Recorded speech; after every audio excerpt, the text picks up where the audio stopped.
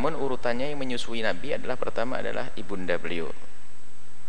Kemudian setelah itu Suwaibah budaknya Abu Lahab. Suwaibah budaknya Abu Lahab.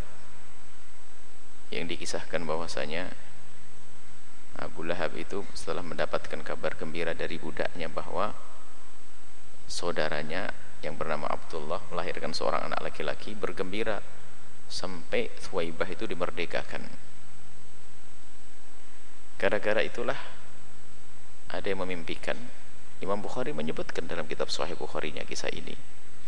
Memimpikan bahwa karena gembiranya Abu Lahab atas kelahiran Nabi maka setiap sehari Senin hari kelahiran Nabi dimimpikan bahwasanya Abu Lahab diringankan. Diringankan itu bukan dikeluarkan.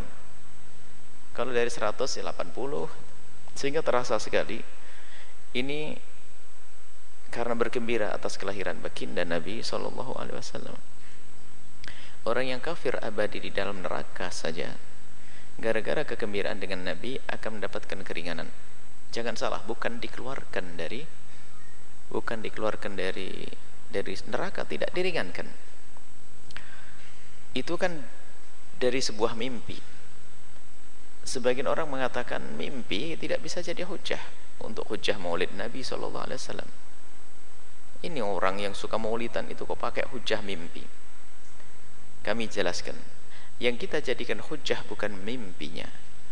Tapi yang kita jadikan hujah adalah Imam Bukhari menceritakan masalah itu di dalam kitabnya yang paling berharga.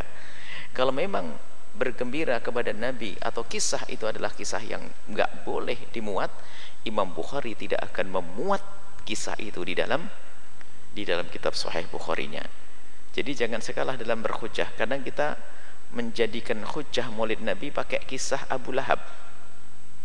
Bukan kisah Abu Lahab tidak bisa jadi hujah karena memang mimpi tapi yang jadi hujah adalah ikrarnya Imam Bukhari pengakuan Imam Bukhari tentang kisah tersebut artinya Imam Bukhari bukan main-main. Kalau memang itu jalah tidak akan dimuat di kitab Sahih Bukhari.